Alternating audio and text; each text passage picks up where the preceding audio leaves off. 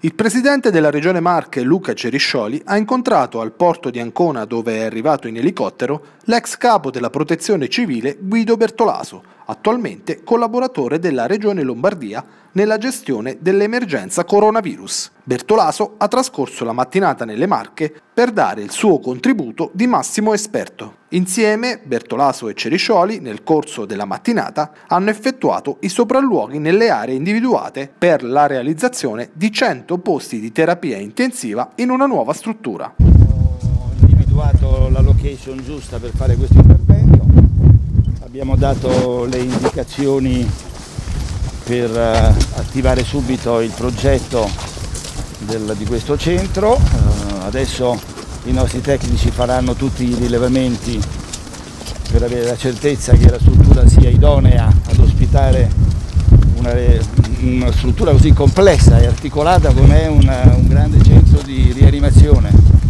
Quindi ho lasciato qua la, il mio braccio destro che è la persona più indicata per fare tutti i rilevamenti e fare la progettazione e fra appena domani o dopodomani avremo luce verde partiremo con l'acquisto dei materiali, la predisposizione delle strutture.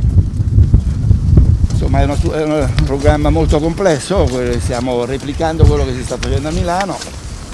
Io spero che se non ci saranno ostacoli, eh, se tutto quello che ci sembra fattibile lo sarà davvero, immagino che fra una decina di giorni potremo essere pronti. È il tempo necessario a questa regione.